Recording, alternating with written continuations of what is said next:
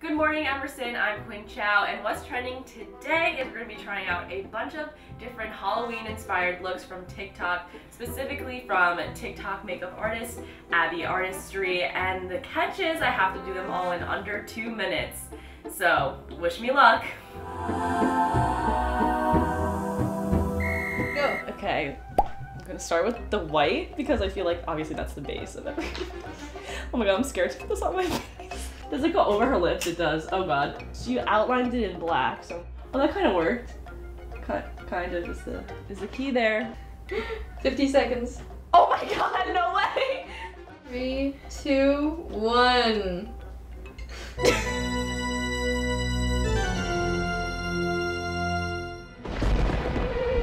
Last time the two minutes went by so fast. Oh my god, I put on so much that this time I'm gonna work really fast and hard. Like poking my eye. I'm hurting. Why am I hurting myself? Looks like squiggly, maybe like a preschooler got to me. Oh yes, we love a dark lip, you know, really brings out the eyes. I'm gonna give this one an eight. I really think I nailed it. Yeah, I definitely feel like I'm channeling my inner Zendaya right now. She was nominated for an Emmy. She won.